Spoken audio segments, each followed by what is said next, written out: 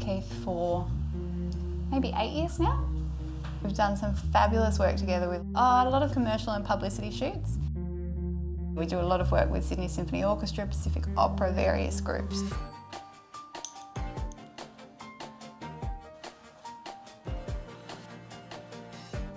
He's very relaxed. I think he has a very relaxed nature and that really comes across and I think it makes, he makes the artist always feel comfortable. You know, whenever somebody sits in my chair and then they're shot by Keith later, they really start to relax and warm up in front of the camera and I think that that's due to the way that he is with his subjects.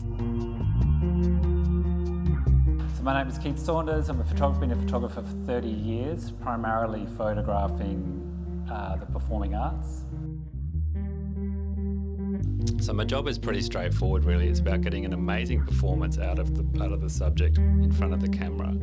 So whether it's a corporate portrait or a dancer or an opera singer, it's actually really the same thing. Being able to rely on the quality of the light means that my job in getting the performance from the subject is so much easier. So what we're doing today is shooting a dancer, Mimi, wonderful dancer.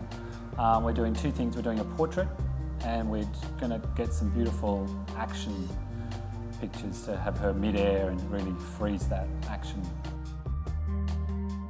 Uh, so today for Mimi I will be using two packs, two of the P2400s and four heads with a variety of shapers and the Godox trigger is great because I can control all of the lights individually from my camera. Light for photographing dancers, the most important thing I think is the fast flash duration. Super fast. This P2400 pack from Godox has that. Having these very powerful lights is a real bonus today because um, you want to use a very deep depth of field to make sure everything is sharp when Mimi is moving around and jumping through the air. Like the technique in that one is. But that one's my more foot- interesting. Yeah, that one's more interesting. My foot is just like, Better in that one. well, no, not. They're both. It's just like, Dancers are really particular about how they look in photographs because it's all about position. It's all about hand position and foot position and head position. Having this very fast flash recycling time is brilliant because I want to be able to get three or four pictures while Mimi is mid-air so we can choose the best picture And action. from each jump. And for Mimi when she's choosing her pictures. And come up, yeah, there, there, that kind of angle. Keep moving. Yeah, and action.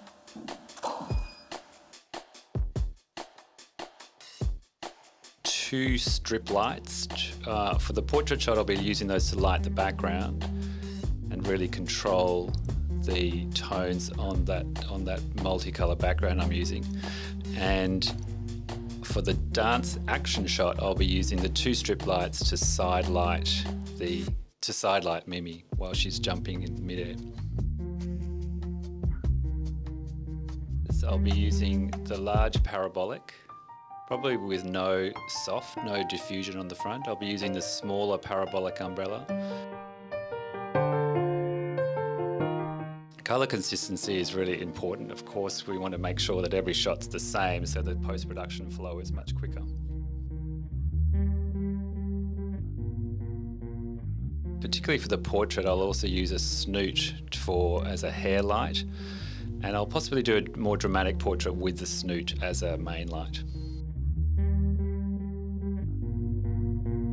These asymmetrical packs are really brilliant because I can really control the output of the light. I don't want the light to be even on each side. I want to be able to separate the back from the subject. And so being able to fully control the individual lights within the pack makes that extremely easy. That's That interesting. one's cool. That's great. and everything in that is. Oh, look at that. Look at those eyes. Look at your eyes in that. So beautiful. but And the, sh- and the, yeah. I think that's even better.